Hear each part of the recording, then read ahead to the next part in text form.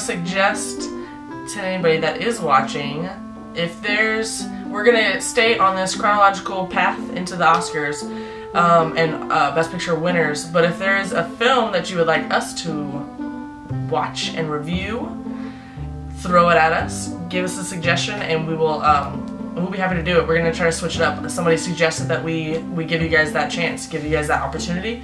If there's a film out there that you guys want us to watch, old, new, uh, not Best Picture winner, somebody that hasn't won the Best Picture, and we'll give it a shot. And whatever you can think of, we'll watch.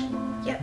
We're we want to try to A little interactive. yeah. I mean, and we also want to know what you guys really enjoy and what movies you are really into because Maybe it's something we have seen, maybe it's something we haven't Yeah. seen, or vice versa, and um, and maybe we'll watch that. Um, we're watch very open and flexible. Well, we're sitting here watching a gajillion movies, and we're open to watching a few more. Other gajillion movies. Mean, so let us know if you think of anything good for us to watch. yep. This is Ashley. That's Sarah. We're out.